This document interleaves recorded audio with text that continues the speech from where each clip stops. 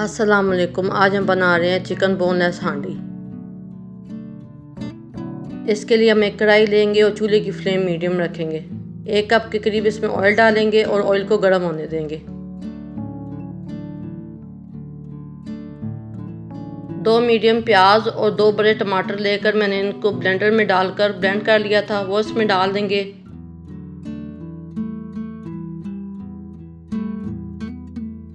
और एक दफ़ा अच्छी तरह से चम्मच चला लेंगे। यहाँ हमने इसको एक से दो मिनट के लिए भूनना है।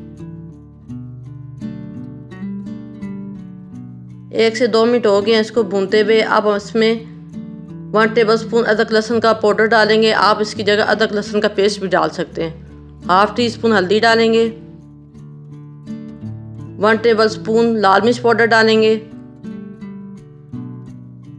वन टीस्पून सूखा धनिया पिसा हुआ डालेंगे। वन टीस्पून नमक डालेंगे। और एक दफ़ा अच्छी तरह से चम्मच चला लेंगे। अब हम इसमें आधा किलो बोनलेस चिकन शामिल करेंगे और एक दफ़ा अच्छी तरह से फिर से चम्मच चलाएँगे। यह हाफ़ कप के करीब दही है, जिसको मैंने अच्छी तरह से फेंट लिया था। ये भी इसमें शामिल करेंगे और इसको एक दफ़ा मिक्स कर लेंगे।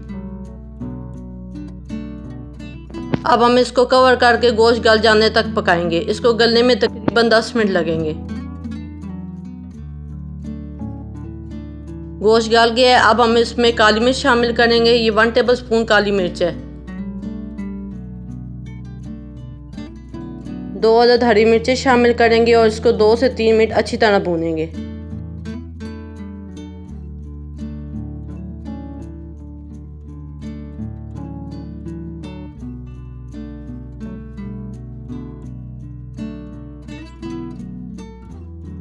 दो से तीन मिनट हो गए इसको भूनते हुए, अब हम इसमें क्रीम शामिल करेंगे।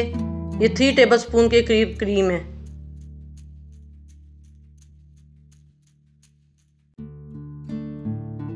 क्रीम शामिल करने के बाद हम इसको अच्छी तरह से मिक्स करेंगे और चूल्हे की फ्लेम लो कर देंगे।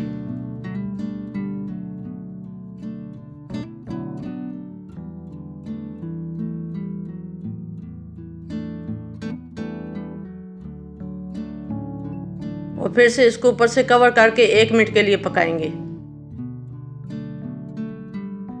एक मिनट हो गया, अब हम इसके नीचे चूल्हा बंद कर देंगे और ऊपर से बारीक कटा हुआ सब्ज धनिया डाल देंगे।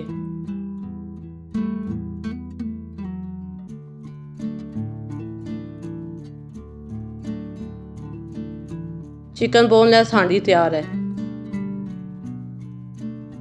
अगर आपको हमारी रेसिपी पसंद आई है तो वीडियो को लाइक करें शेयर करें चैनल पर नए हैं तो चैनल को सब्सक्राइब करें और बेल आइकन को ज़रूर दबाएँ।